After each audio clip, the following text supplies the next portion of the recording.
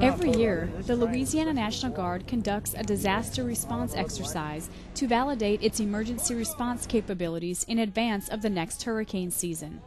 This diverse training is unique across the state and involves thousands of soldiers, airmen, and agency officials.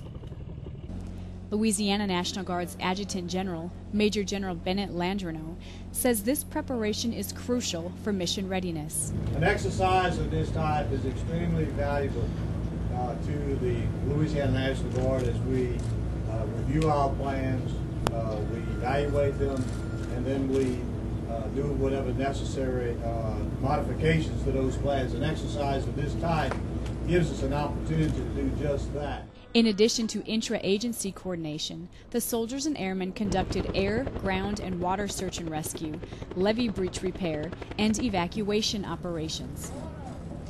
State agencies assisted with simulated emergency supply distribution and participated in internal communication tests. The exercise took place at two primary training sites located in southwest Louisiana in Cameron Parish and southeast Louisiana at the New Orleans Lakefront Airport. The Chief of State Police, Colonel Mike Edmonson, says this successful combination of efforts makes him proud and sets the standard for other states.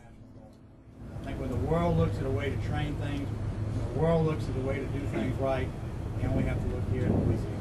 Reporting for the 241st MPAD, Sergeant First Class Sara Piazza.